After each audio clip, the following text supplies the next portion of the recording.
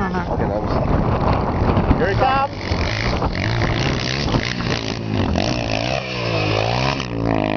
That was better.